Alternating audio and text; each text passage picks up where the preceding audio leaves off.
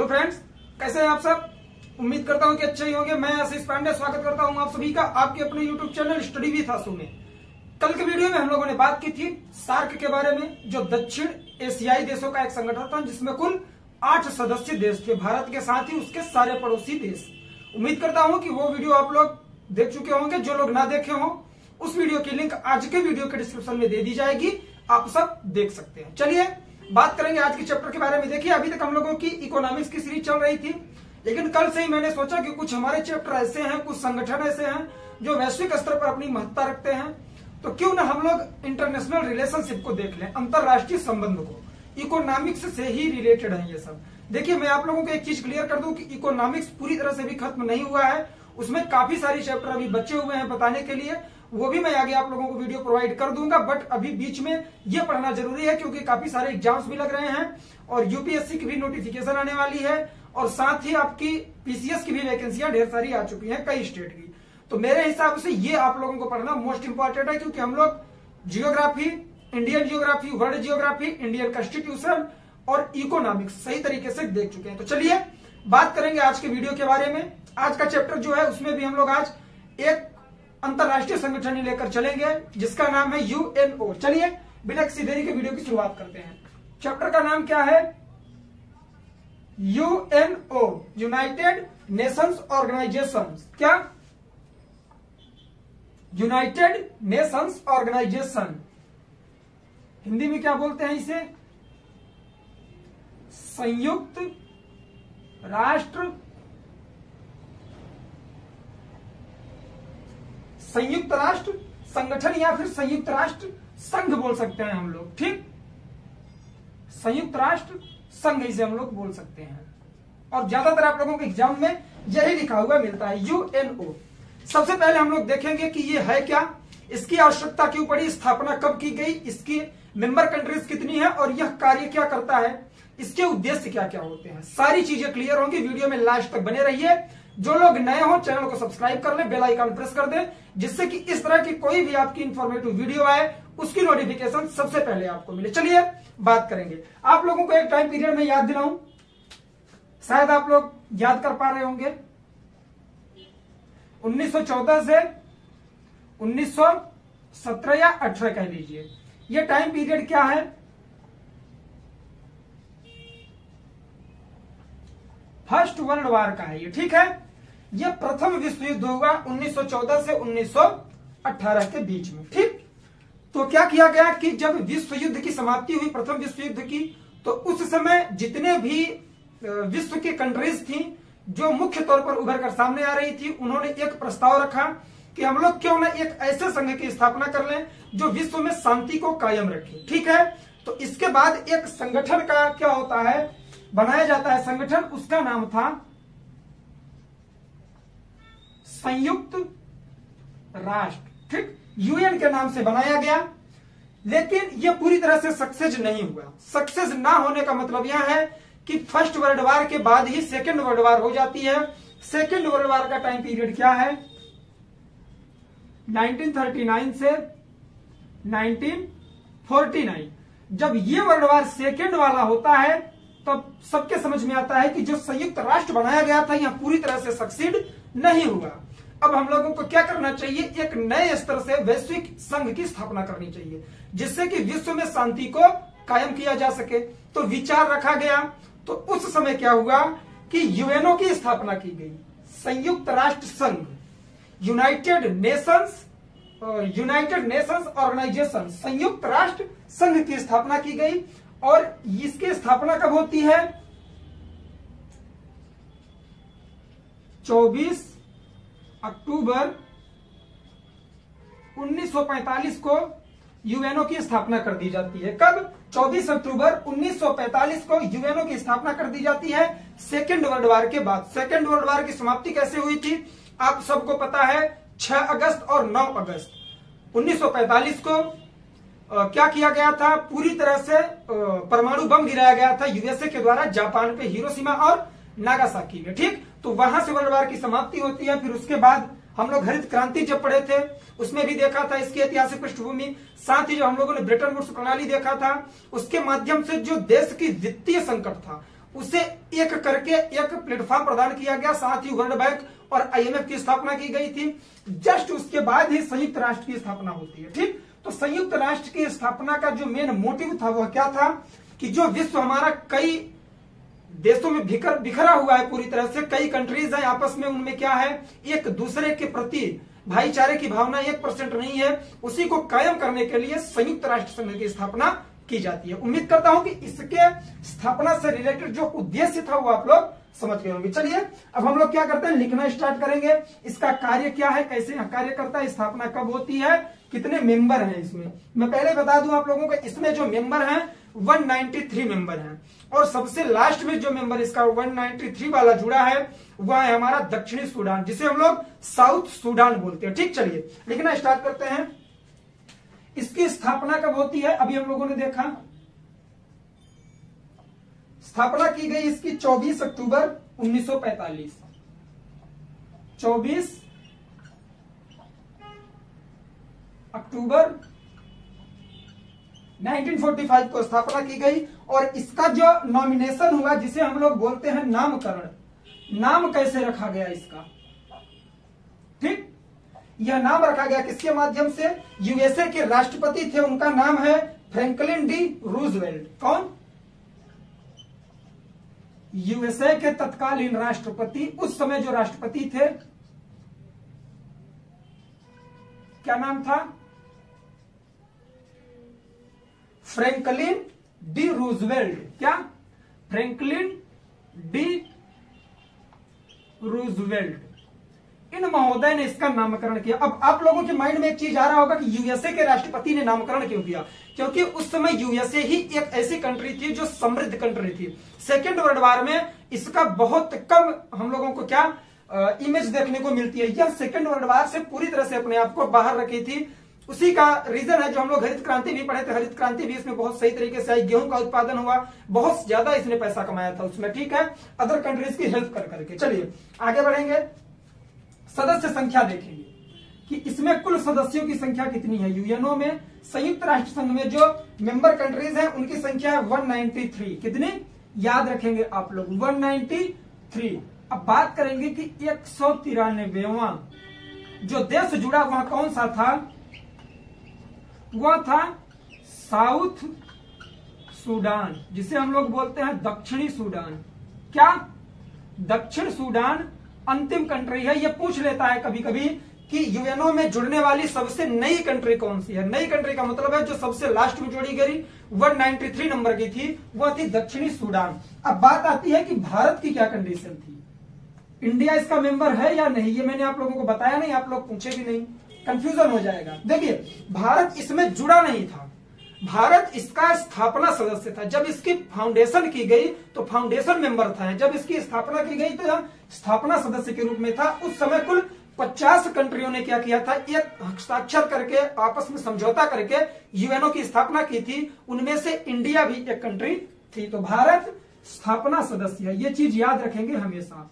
Bharat UNO की स्थापना सदस्य है। आगे बढ़ेंगे हम लोग। अब बात करेंगे कि इसकी लैंग्वेज क्या है, अर्थात भाषा। यूएनओ की भाषा क्या है? अगर पूरी तरह से देखें हम लोग तो छह भाषा को वरीयता प्रदान की गई है, लेकिन कार्यकारी तौर पर किस भाषा को अपनाया गया है तो वह अंग्रेज़ी और फ्रेंच को वरीयता दी गई है। आधिकारिक तौर पर छह भाषाओं को मान्यता प्रदान की गई है, लेकिन जो सॉरी इसका कार्य वगैरह होता है, जो इसमें कार्य किए जाते हैं, वह ज़्यादातर इंग्लिश और फ्रेंच में किए जाते हैं। ठीक तो हम लोग लिखेंगे कुल भाषा।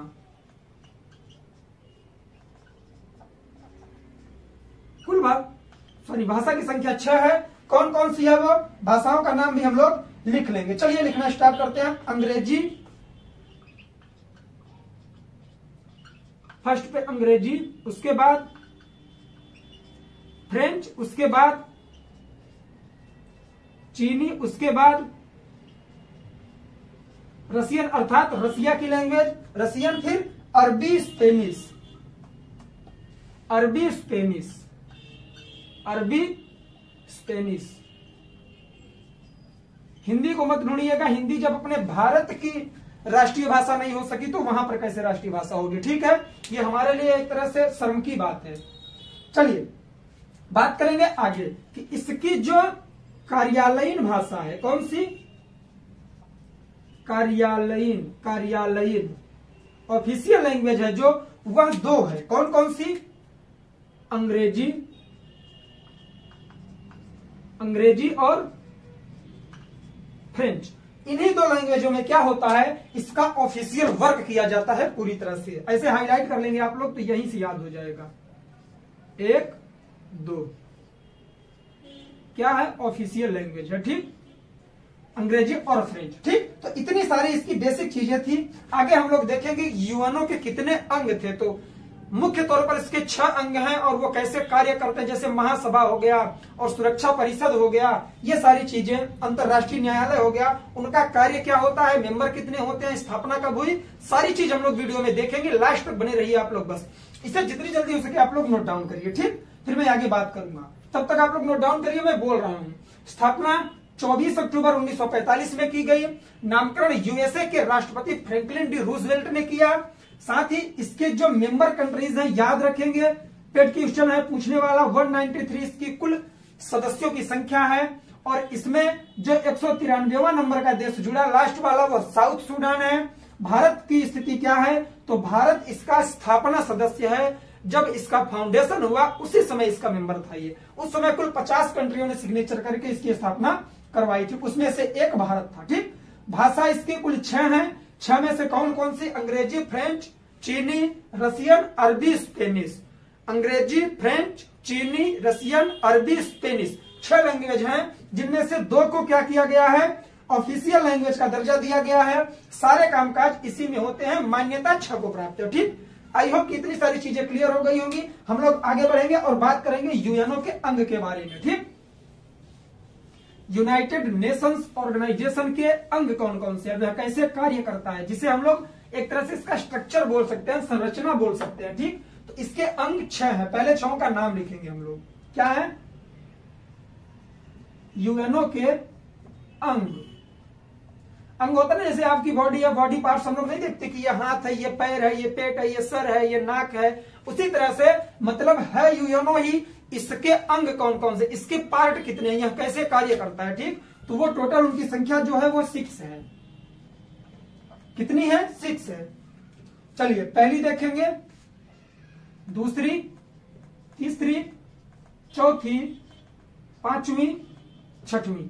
कुल छह अंग हैं इसके। छो का नाम लिखेंगे। सबसे पहले हम लोग लिखेंगे महासभा जनरल असेंबली कौन सी? महासभा।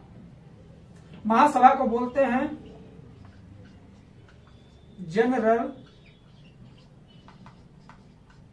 जनरल असेंबली, ठीक? General Assembly. सेकंड वाली हमारी कौन सी है? सुरक्षा परिषद, सिक्योरिटी काउंसिल। सुरक्षा परिषद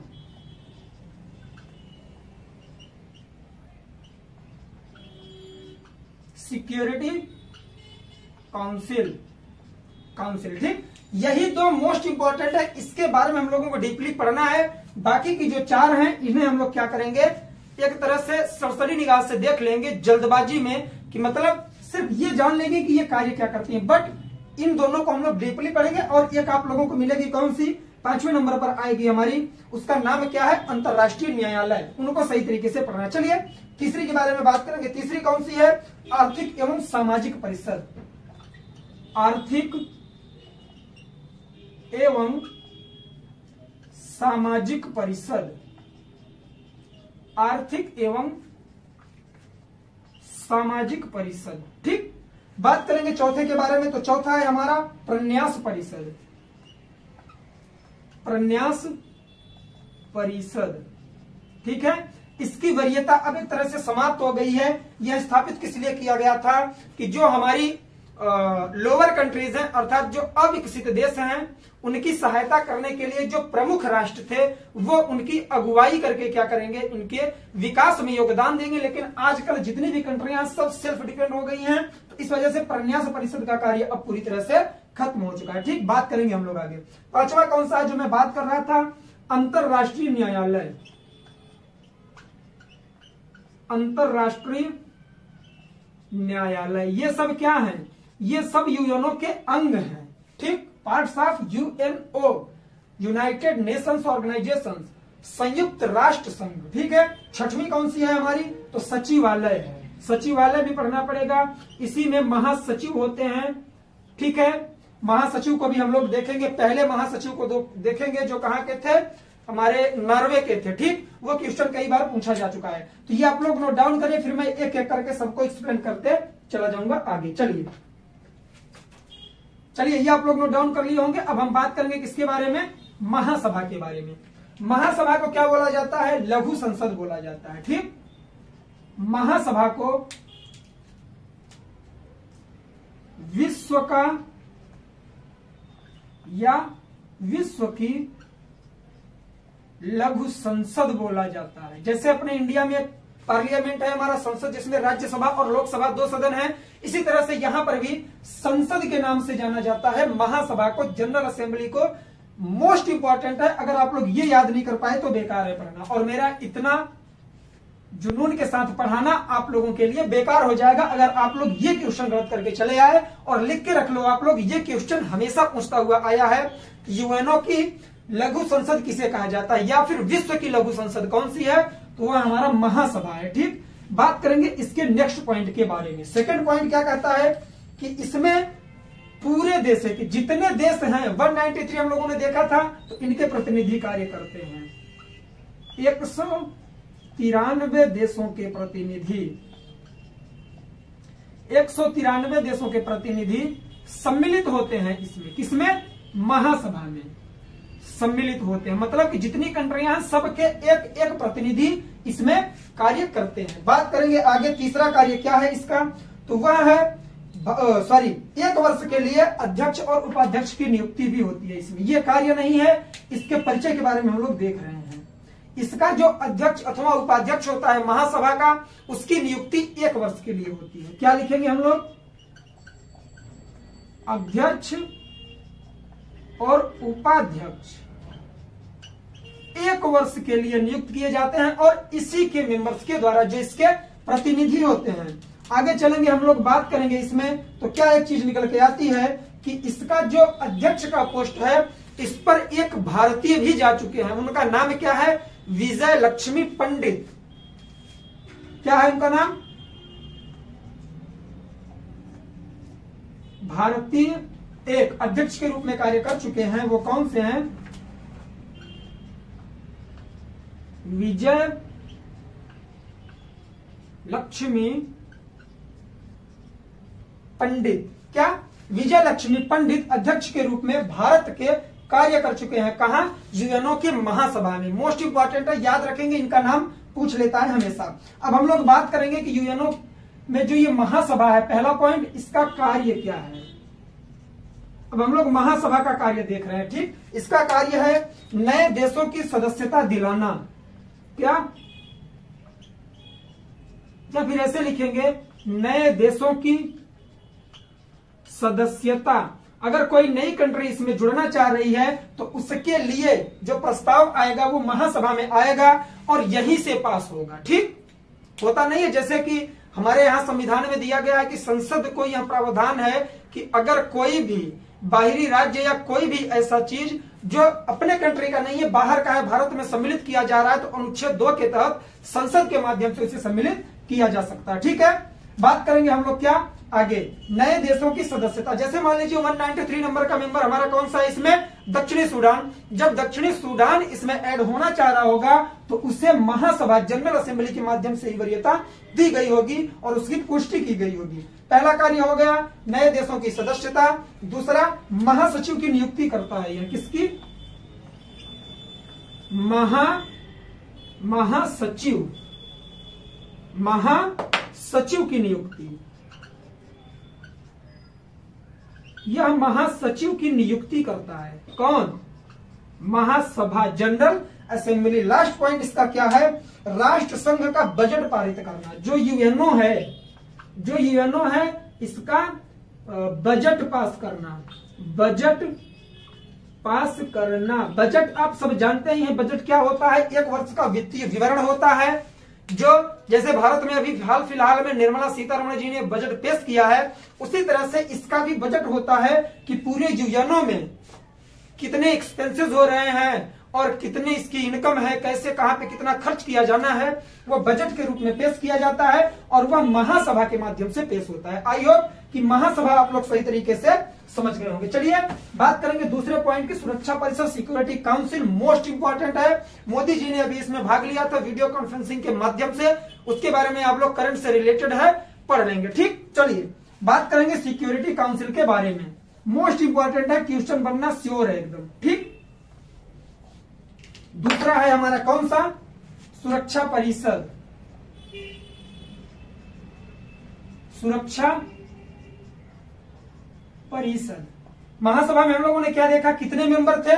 193 जितनी कंट्री है, सबके एक प्रतिनिधि उसमें कार्य कर रहे थे। तो वो हो गए थे 193 सुरक्षा परिषद को हम लोग क्या बोलते हैं? Security Council. कभी कभी यही चीज़ हिंदी में लिख के आ जाता है, सिक्योरिटी काउंसिल किसे कहते हैं? ठीक, या सिक्योरिटी काउंसिल काउंसिल के मेंबर क्या कैसे? वो सुरक्षा परिषद ना पूछ के सिक्योरिटी काउंसिल लिख देता है। इसलिए मैं इंग्लिश भी आप लोगों को लिख देता हूँ। चलिए, अब इसके बारे में हम लोग बात करेंगे एक एक पॉइंट सिक्योरिटी काउंसिल इसमें क्या होता है? इसे दुनिया का पुलिसमैन बोला जाता है। क्या? विश्व का पुलिसमैन दुनिया का पुलिसमैन के नाम से यह फ़ेमस है हमारा। क्या? सुरक्षा परिषद सिक्योरिटी काउंसिल दुनिया के पुलिसमैन के नाम से फ़ेमस है। मोस्ट इंपॉर्टेंट, मैं बार बार रिपीट करता हूँ, जिसमें कि ये मोस्ट इंपॉर्टेंट है तो समझ जाया करिए क्वेश्चन, पूछ चुका है, क्योंकि मैं कई सारे, जितने भी एग्ज़ाम वनडे एग्ज़ाम होते हैं, उनके प्रीवियस ईयर को एनालिसिस करके फिर मैं आप लोगों को पॉइंट बताने की कोशिश करता हूँ, ठीक? तो जो पूछता है, सिर्फ़ वही देना मेरा मोटिव होता है। तो आप लोग भी बेफिक्र होकर चीज़ें नोट डाउन किया करिए और नोट्स अपना प्रिपेयर करते रहिए। मेरा मोटिव होता है आप लोगों का नोट्स प्रिपेयर करवाना, जो आप लोगों के लिए बहुत हार्ड लगता है। मैं जो चीज़ें लिखता हूँ, अगर आप लोग इसी तरह से सही तरीके से नोट डाउन कर रहे होंगे तो मुझे नहीं लगता कि किसी भी एग्ज़ाम में आप लोगों को प्रॉब्लम होने वाली है। चलिए, बात करेंगे कि इसे बोलते हैं दुनिया का पुलिस मैन सुरक्षा परिषद को। अब इसके सदस्य कितने होते हैं? तो इसके सदस्य होते हैं टोटल पंद्रह। अब इसमें लोचा है। लोचा क्या है? कि जो पंद्रह सदस्य होते हैं, ज़रूरी नहीं है कि एक ही होंगे। लेकिन इसमें दो टाइप हम लोग बनाएँगे। क्या? स्थायी और अस्थाई ठीक? तो स्थायी सदस्यों की जो संख्या है, ऐसे करके याद करेंगे, चीज़ें याद होगी। स्थायी सदस्यों की संख्या है पाँच, जो हमेशा के लिए बनाए गए हैं। और जो अस्थाई हैं, जो नियुक्त किए जाते हैं, कितने वर्षों के लिए? दो वर्ष के लिए। उनकी संख्या कितनी है? पंद्रह में से पाँच लेस करेंगे, कितना आएगा? दस ही तो आएगा।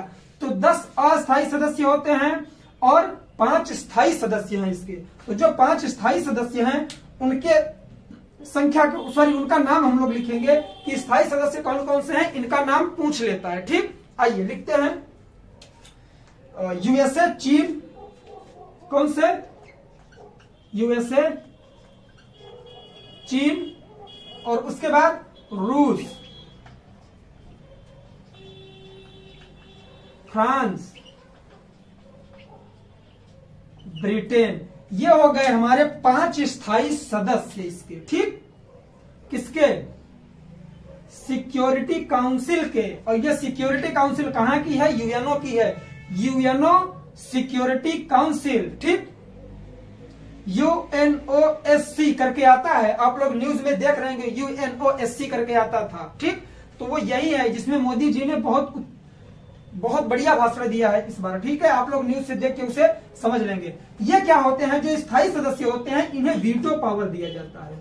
अब अगर आप लोग मेरा, उसका इंडियन कॉन्स्टिट्यूशन का लेक्चर नहीं लिए होंगे तो आप लोगों को लगेगा कंफ्यूज हो जाएँगे, सर वीटो पावर क्या? वीटो पावर वो एक पावर दिया जाता है किसे? जैसे भारत में आपके राष्ट्रपति को प्रदान होता है कि जैसे संविधान पास हो रहा है तो वह उसे अपने पास रख सकता है और पुनर्विचार के लिए भेज सकता है या ठंडे बस्ते में डाल सकता है या आगे बढ़ा सकता है। ये सब वीटो पावर है। ये वीटो पावर इन पाँच कंट्रियों को दिया गया है कि इस तरह का रिलेटेड कार्य अगर यूएनओ में होगा तो ये पाँच कंट्री उस पर अपना वीटो ज़ाहिर कर सकती है। चलिए बात करते हैं अस्थायी सदस्यों के बारे में। जो दस अस्थायी सदस्य हैं, ये हमेशा दो वर्ष के लिए नियुक्त किए जाते हैं। और ये कहाँ से आते हैं? जो 193 उसमें मेंबर हैं, उनमें से पाँच को लेस कर देंगे, जितने बच्चे उनमें चुनाव होता है और उनके माध्यम से उन्हीं बीच से निकल के ये दस आते हैं और हर दो वर्ष पर चेंज होते रहते हैं। तो ऐसा होता है कि जो देश एक बार इसका मेंबर बन गया, वो 10 से 15 सालों बाद ही फिर इसका मेंबर बन पाता है। ठीक है? तो ये सारी चीज़ें हैं स्थायी और अस्थायी सदस्य के बारे में। सुरक्षा परिषद से, ठीक? मोस्ट इंपॉर्टेंट है, याद रखेंगे, सुरक्षा परिषद की सदस्य संख्या कुल पंद्रह पाँच स्थायी, दस अस्थाई स्थायी जो है हमारे परमानेंट है उसमें यूएसए चीन रूस फ्रांस ब्रिटेन ये सारी शक्तियाँ हैं। आगे दस में इंडिया को भी सदस्यता इस बार मिल गई है। 2020 में आप लोग याद रखेंगे, ठीक है? चलिए, आगे बढ़ेंगे हम लोग। बात करेंगे कि यह सुरक्षा परिषद का कार्य क्या है। यह जो सुरक्षा परिषद है, यह कार्य कौन कौन से करती है? तो इसका मुख्य कार्य होता है अंतरराष्ट्रीय शांति कायम करना। अंतरराष्ट्रीय शांति कायम करना। आप लोग इसका झंडा देखे हैं झंडा कैसा होता है? आइए मैं आप लोगों को आज यूएनओ का झंडा दिखाता हूँ।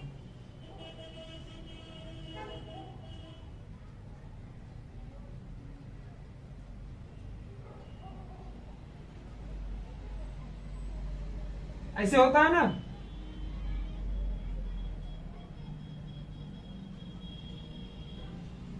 ऐसे करके झंडा बनाया जाता है यूएनओ का, ठीक है? ये पत्ती होती है, दो पत्तियों के बीच में, इसमें वर्ल्ड मैप होता है, ठीक? मतलब और ये जो पत्तियाँ हैं, मुझे याद नहीं आ पा रहा है रिकॉल नहीं कर पा रहा हूँ मैं, आप लोग देख लेंगे, ये जिस चीज़ की पत्ती है उसे शांति का प्रतीक माना जाता है, ठीक? तो शांति कायम करने के लिए विश्व को बीच में रखा गया, उसी के लिए इसकी स्थापना की गई है, ठीक? आई होप कि आप लोग सही तरीके से इसे समझ गए होंगे। चलिए, बात करेंगे चौथे, तीसरे पॉइंट के बारे में, आर्थिक एवं सामाजिक परिषद।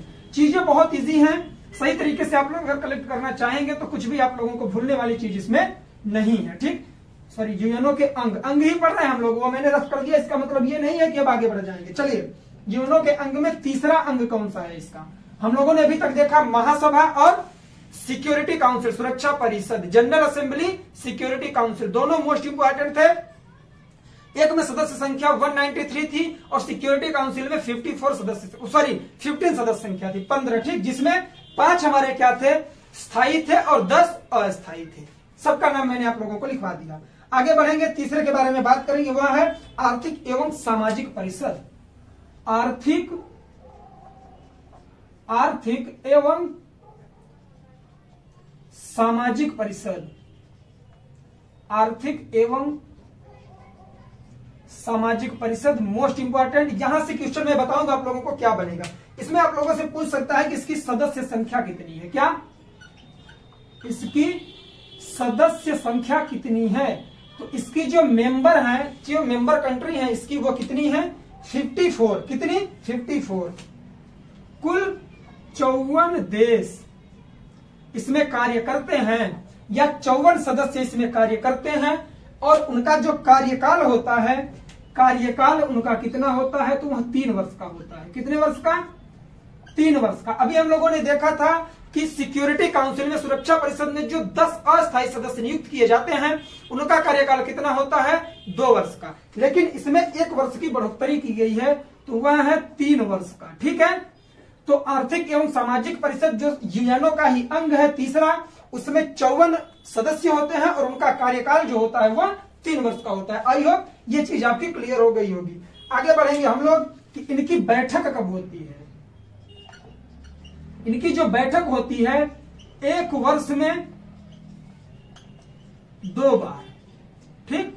एक वर्ष में दो बार बैठक होती है। याद रखेंगे आप लोग क्वेश्चन कहाँ से बन सकता है। मैं बता रहा हूँ आपको, कार्यकाल नहीं पूछेगा। कार्यकाल अगर पूछेगा तो अस्थायी सदस्यों का पूछेगा, जो सिक्योरिटी काउंसिल के हैं दो वर्ष के। इसमें पूछेगा कि आर्थिक एवं सामाजिक परिषद में सदस्य देशों की संख्या कितनी है? तो इसके मेंबर जो है वो फिफ्टी फोर है ये याद रखेंगे। फिर से रिकॉल करवाऊँगा मैं, महासभा जनरल असेंबली 193 जितने पूरे कंट्रियों की उसमें मेंबरशिप है, उनके एक एक प्रतिनिधि उसमें रहते हैं, महासभा में, ठीक है? वो हो गए 193 बाद में हम लोगों ने देखा सेकंड वाला कौन सा था? सिक्योरिटी काउंसिल सुरक्षा परिषद, उसमें 10 सॉरी 15 जिसमें 10 अस्थाई पाँच स्थायी, ठीक? और जो अस्थायी होते हैं 10 उनकी क्या होती है? उनका कार्यकाल निर्धारित किया गया है। कार्यकाल का आशय है कि वह कितने वर्ष तक कार्य करते रहेंगे, फिर नया आएगा। तो वो दो वर्ष तक। सिक्योरिटी काउंसिल के तहत अस्थायी सदस्यों का जो कार्यकाल है, दो वर्ष का। तीसरा हम लोगों ने देखा इसमें सदस्य संख्या 54 है, आर्थिक एवं सामाजिक परिषद में, और इनका जो कार्यकाल है, तीन वर्ष है। ये नहीं पूछेगा, ये हंड्रेड परसेंट पूछ सकता है। और ये टाइम पीरियड पूछ सकता है कि इनकी बैठक कब होती है तो एक वर्ष में दो बार इनकी बैठक होती है। आई होप कि ये सारी चीज़ें आप लोग याद कर चुके होंगे। चलिए हम लोग आगे बढ़ते हैं, बात करेंगे चौथे पॉइंट के बारे में, जो इसका चौथा अंग है। मोस्ट इंपॉर्टेंट यहाँ से क्वेश्चन बनेगा श्योर है। चौथा चौथा तो है सॉरी प्रन्यास परिषद, यहाँ से नहीं क्वेश्चन बनेगा पाँचवें से, जो हमारा है क्या? अंतरराष्ट्रीय न्यायालय। इसे हम लोग यहीं देख लेंगे। प्रन्यास। परिषद। प्रन्यास परिषद का आशय यह यह एक ऐसी काउंसिल बनाई गई है यूएनओ में कि जो अविकसित देश हैं, उनकी सहायता की जाती है इसके माध्यम से। पहले क्या किया गया था कि पहले जैसे कि होता नहीं कि कोई भी अगर फैमिली में कोई मेंबर है जो कमज़ोर है, और आप ज़्यादा पढ़े लिखे हो, वो पढ़ाई लिखाई सही से नहीं कर पा रहा है तो आपको घर वाले क्या करते हैं, जो घर के मुखिया होते हैं, कहते हैं कि आप एक काम करो, इसे कुछ दिन टीच कर दो ट्रेनिंग करवा दो इसकी, पढ़ा दो इसे। तो सेम कंडीशन वही है कि जैसे यहाँ पर क्या सिस्टम किया गया था कि जो अविकसित देश इसके मेंबर थे और काफ़ी सारे देश विकसित थे। तो ये कहा गया था कि इन अविकासशील देशों का या अविकसित देशों का विकास करवाइए एक मेंबर के तौर पर तो वो प्रमुख बनकर प्रतिनिधित्व करते थे उनका। लेकिन अब यह प्रक्रिया समाप्त कर दी गई। सिर्फ़ इतना हम लोग लिख लेंगे कि यहाँ क्या करता है? अविकसित देशों की सहायता। क्या? अविकसित देशों की सहायता करता है। अविकसित देशों की सहायता करता है। क्या प्रन्यास परिषद? आई होप अब क्लियर हो गया होगा। अब हम लोग बात करेंगे पाँचवें के बारे में, अंतरराष्ट्रीय न्यायालय। मैं व्हाइट बोर्ड के सामने नहीं जाता हूँ इसीलिए क्योंकि मैं रफ बहुत जल्दी कर देता हूँ। आप लोग वीडियो पॉज करके स्क्रीनशॉट ले लिया करिए। ठीक है? चलिए। अब बात करेंगे पाँचवें पॉइंट के बारे में, जो पांचवा अंग है मोस्ट इंपॉर्टेंट क्या है? अंतरराष्ट्रीय न्यायालय। ठीक? अंतरराष्ट्रीय न्यायालय। चीज़ें बहुत इजी हैं, याद बस करना कैसे, ये आपके ऊपर डिपेंड करता है। बहुत सारे लोग ट्रिक बना के देते हैं। ट्रिक पर मत भागा करिए, चीज़ें भूल जाएँगे ट्रिक के माध्यम से। चलिए न्यायालय। अब इसकी स्थापना हम लोग लिखेंगे कि इस न्यायालय की स्थापना कब की गई? मोस्ट इंपॉर्टेंट है, यहाँ से क्वेश्चन बन चुका है कई बार कि यूएनओ के तहत जो अंतरराष्ट्रीय न्यायालय है, उसकी स्थापना कब की गई? तो वह स्थापना की गई थी तीन अप्रैल 1946 क्या? थर्ड अप्रैल 1946 में 1946 में। अब इसका मुख्यालय हम लोग देखेंगे किसका अंतरराष्ट्रीय न्यायालय का मुख्यालय कहाँ पर है? मतलब इसकी स्थापना कहाँ की गई थी? तो वह है द हेग। क्या है? दी हेग करके हम लोग लिखते हैं। हिंदी में हम लोग शुद्ध शुद्ध लिखेंगे। The Hague. और यह पड़ता कहाँ है? तो यह नीदरलैंड में पड़ता है। कहा? नीदरलैंड्स में पड़ता है। और यह एक तरह से अगर हम लोग देखेंगे तो बाल्टिक कंट्री के तहत आता है, जो बाल्टिक सागर है हमारा, यूरोप में ऊपर देखेंगे आप लोग, जहाँ आप लोगों को जर्डन वगैरह देखने को मिलता है तो वहीं पर आपका नीदरलैंड पड़ता है, ठीक है? नीदरलैंड के द हेग में है, ठीक? क्या? अंतरराष्ट्रीय न्यायालय का मुख्यालय। अब यहाँ से जो मोस्ट इंपॉर्टेंट पॉइंट है, वो मैं आप लोगों को बताने वाला हूँ। बी केयरफुल वीडियो देखेंगे। चलिए। इसमें क्या होते हैं? पंद्रह न्यायाधीश होते हैं। कितने? न्यायाधीशों की संख्या हमेशा पूछा है। न्यायाधीश तो इसमें जो न्यायाधीश होते हैं, न्यायाधीश कुल पंद्रह होते हैं। कुल पंद्रह न्यायाधीश इसमें होते हैं, और एक भारतीय है, उनका नाम मुझे याद नहीं आ रहा। कुछ महावीर, ऐसे कुछ करके है, मैं श्योर नहीं हूँ, आप लोग देख लेंगे। वो भूल गया मैं फॉरगेट हो गया माइंड से आ जाएगा, अगर तो मैं बता दूँगा, नहीं तो आप लोग क्या करेंगे गूगल से देखकर लिख लेंगे, ठीक है? तो ये सारी चीज़ें इससे रिलेटेड थी। अब आगे बढ़ेंगे, हम लोग बात करेंगे छठवें पॉइंट के बारे में, जो सचिवालय है।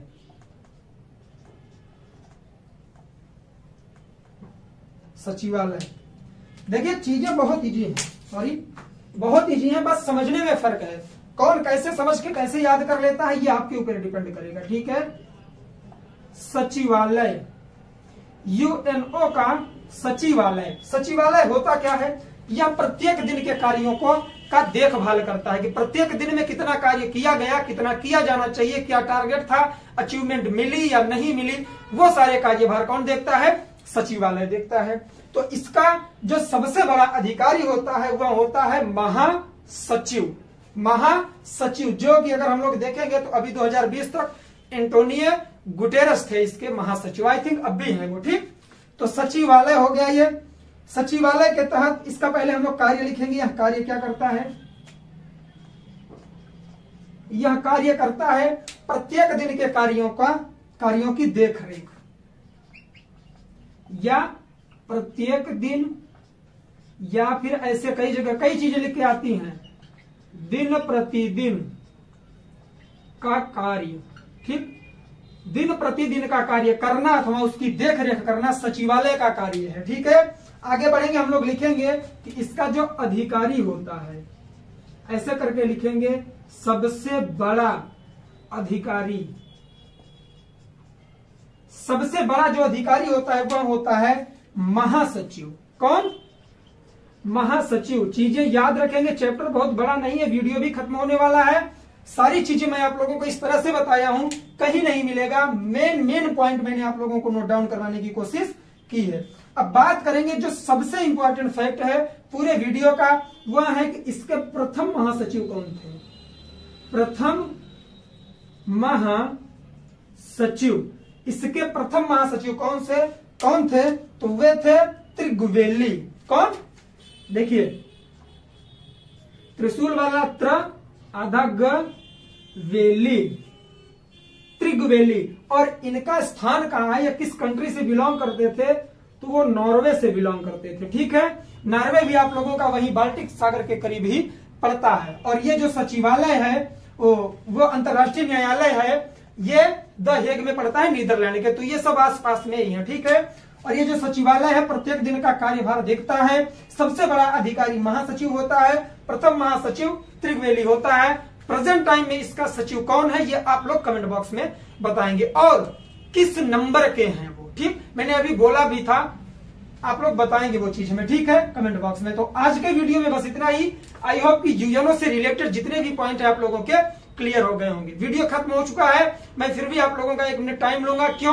क्योंकि कुछ कंफ्यूजन है, दूर कर दूँगा। देखिए, काफ़ी सारे स्टूडेंट ऐसे होंगे जो स्टार्टिंग से जुड़े हैं। उन्हें लग रहा होगा कि सर अचानक से जंप कैसे मार गए? इकोनॉमिक्स चल रही थी, ये चीज़ क्या बताने लग गए? तो सर, आप लोग जो भी पढ़ रहे हो मैं आप लोगों को बता दूँ, किसी भी एग्ज़ाम की अगर आप लोग प्रिपरेशन कर रहे हो और उसमें अच्छा नंबर गेन करना है तो आप लोगों को करंट अफेयर साथ ही साथ इंटरनेशनल रिलेशनशिप पढ़ना मोस्ट इंपॉर्टेंट होता है। ये कंपलसरी है यार। यहाँ से क्वेश्चन हमेशा हर एग्ज़ाम में बना। एनटीपीसी का एग्ज़ाम चल रहा है, वहाँ कई बार क्वेश्चन पूछ लिया गया। पंचशील समझौते से क्वेश्चन आया है। अब पंचशील समझौता जो लोग सुने ही नहीं होंगे, उनके लिए तो वही चिड़िया हो जाएगी जो कभी देखे ही नहीं है। ठीक? तो इस वजह से आप लोगों को ये इंटरनेशनल रिलेशनशिप पढ़ना पड़ेगा और उसके लिए जो मोस्ट इंपॉर्टेंट आपकी ऑर्गेनाइजेशन है, संस्थाएँ हैं, उसके बारे में हम लोग दिन प्रतिदिन देखते जाएँगे। इसीलिए मैंने इसका प्ले भी अलग बना दिया है। मैंने अगर आप लोग जाएँगे चैनल पर तो वहाँ आप लोगों को प्ले मिलेगा। पहला इंडियन जियोग्राफी दूसरा वर्ल्ड जियोग्राफी तीसरा इंडियन कॉन्स्टिट्यूशन चौथा मिलेगा इकोनॉमिक्स का। पांचवी प्लेलिस्ट आप लोगों को मिल जाएगी। किसकी? इंटरनेशनल रिलेशनशिप या फिर इंटरनेशनल ऑर्गेनाइजेशन, अंतरराष्ट्रीय संगठन। तो वहाँ जाकर आप लोग वीडियो देखेंगे नोट्स प्रिपेयर करेंगे, परेशान होने की ज़रूरत नहीं है, सारे वीडियो आप लोगों को मिलेंगे। इकोनॉमिक्स का भी 95 परसेंट हम लोग सिलेबस कवर कर चुके हैं। बचा है फाइव परसेंट वो भी जैसे ही ये संस्थाएँ खत्म होंगी, हम लोग कवर करने की कोशिश करेंगे। तो चलिए, मिलेंगे हम लोग नेक्स्ट वीडियो में। आई होप आप लोग मेरी बातों को समझ गए होंगे। वीडियो आप लोगों को पसंद आया होगा। अगर वीडियो पसंद आया, दोस्तों में शेयर करिए। नए हो चैनल को सब्सक्राइब करिए और बेल आइकन प्रेस करिए, जिससे कि कोई भी वीडियो आए, उसकी नोटिफिकेशन सबसे पहले आपके मिले। तो आज के लिए बस इतना ही। मिलेंगे नेक्स्ट वीडियो में। तब तक के लिए जय हिंद, जय भारत बाय बाय